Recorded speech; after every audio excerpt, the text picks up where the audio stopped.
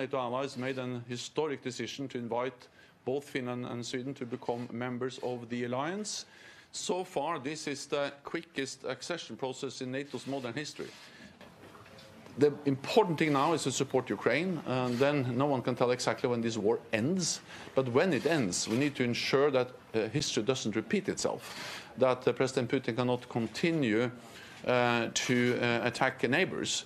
Uh, and therefore, we need to strengthen the military capabilities of Ukraine, but also look for frameworks that can ensure that uh, uh, uh, President Putin, Russia, doesn't invade uh, Ukraine yet another time. So security guarantees after the war, like what the journal wrote.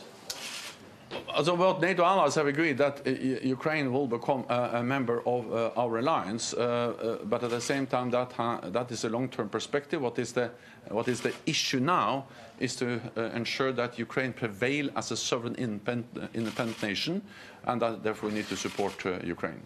Uh, I cannot give you an exact date, but we are working uh, to uh, make it happen as soon as possible. Thank you. Thank you very much. Okay. Thank you. Thank you.